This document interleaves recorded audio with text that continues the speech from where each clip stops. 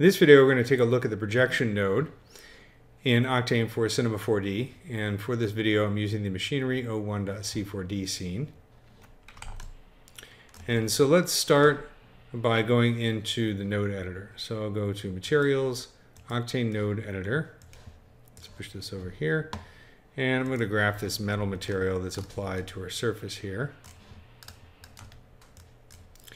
And let's start by mapping an image texture to the material's diffuse and specular channel. So I'm going to create an image texture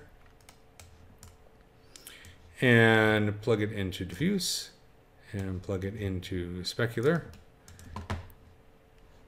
And then let's go to the options for this image texture and open up our browser. I'm going to use the uh, panel 06 diffuse image. We'll copy it. And then let's go in here and under IOR mode, I'm going to set this to artistic. There we can see. Now I've updated the render and we can see it appearing on the surface here.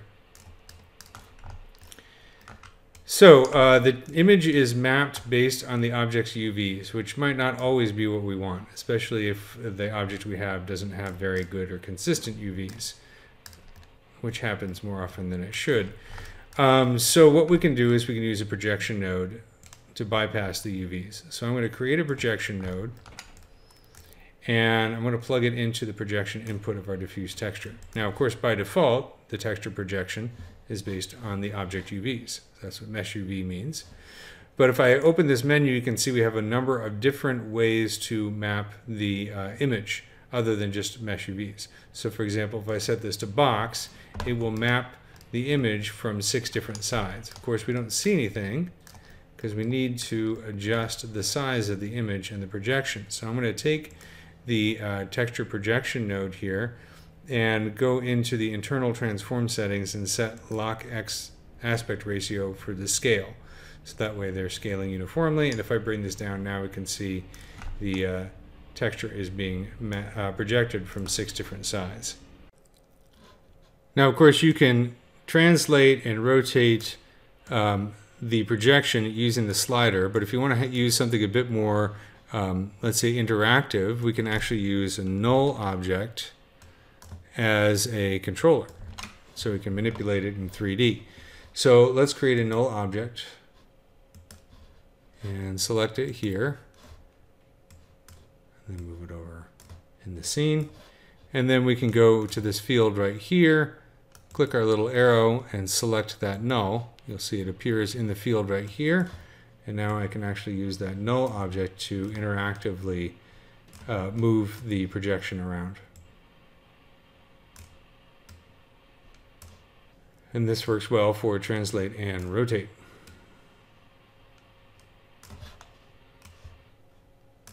If I need to get rid of it, I'll just click on this arrow and choose clear. Now the other types of projection, some of them are fairly self-explanatory. Like cylindrical is like box, except it's wrapping the texture as if the object was cylindrical, and it works better for cylindrical objects, right? Obviously. And then we also have uh, spherical, so again, this works well when the object is more spherically shaped. So those are fairly obvious. The OSL projection and OSL UV, I'll talk about that in a separate video on OSL. Mesh UV we've already talked about. So let's talk about perspective. So if I turn on perspective, this will basically map the texture based on a perspective view. So this doesn't look terribly exciting at the moment, but what you can do is you can connect this to a specific camera so that you can do camera projection, which is a popular way to do things like map paintings or like, you know, rock faces or the surfaces of large buildings that are static in the scene. So let's create a new camera.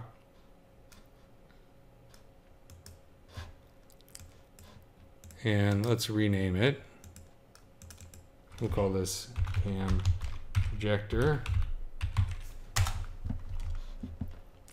Go to our texture projection node, just like we did with the null. I'll click on this arrow and select cam projector. And of course, now let's actually select cam projector and move it.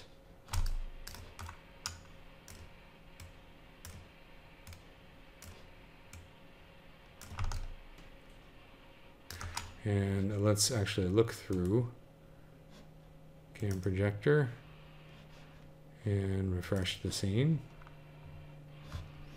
And maybe fix that scale. That's probably what's causing us the issue. Yep, sure enough. You can see as I zoom in with the projecting camera, the image stays static. And as I move around, you can see that the image is staying static as well. Because it's being projected from this camera that I'm currently looking through. So if I switch to a different camera, it's going to look kind of odd from other views. It depends on the view that you're looking at it from. But I can move the original camera around. And just like with the null,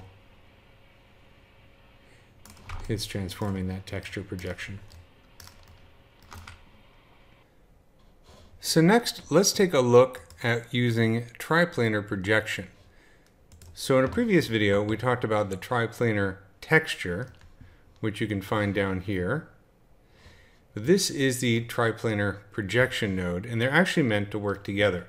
So let's start by creating a triplanar texture. And I'm going to disconnect the image texture from the diffuse and the specular. So let's just move this out of the way for the time being. And I'm going to connect the triplanar texture to the diffuse and the specular. And next I'm going to create a checker texture. Do a checker texture and I'm going to connect this to positive x, negative x, those two positive, positive z and negative z. And just to help make things look as obvious as possible, I'm also going to create an RGB spectrum texture and connect this to positive y and negative y. And let's make this bright red. Okay, so as we saw in the previous video on the triplanar texture, you can see that our checker texture appears in both x and z directions, where our and our red color, the RGB spectrum, is being projected along the y-axis, so the top positive and negative. Don't see the negative because it's below the plane here, but you get the idea. But you can also see that the checker texture is being mapped or projected on the surface based on the UV. So we don't have a very consistent pattern here. It's different sizes based on the UVs of the different parts of the model. So not the greatest situation if we want to create nice quick texture without having to deal with doing with the UVs. So this is where the uh, triplanar projection comes in. So let's create a projection node and I'm going to set it to triplanar. And now I'm going to plug this into the checks projection. And of course our checker pattern goes away because we've got to scale it. We've got to transform it. So what we can do now is create a new transform for our checker pattern here. So I'm going to create UVW transform. So it just automatically adds this node. Let's move it up here and scale it down. And now you can start to see the benefit of using that triplanar uh, projection. We have a nice consistent pattern that goes all the way across the surface.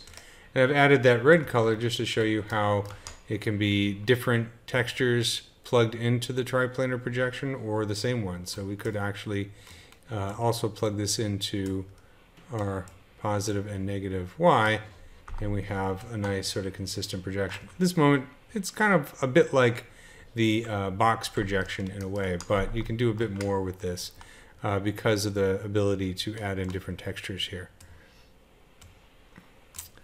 And then of course we have this transform which we can use to transform the, our checker pattern, right? So we can select this and scale it and translate it and rotate it, etc. We also have a transform input on our triplanar um, texture node. So I can go down here and let's actually, let's create a new transform and plug it in here. And now if I can rotate this, you can see now I'm rotating the entire projection. So you can see that red color is also rotating along with everything else. It's rotating the entire triplanar projection scheme.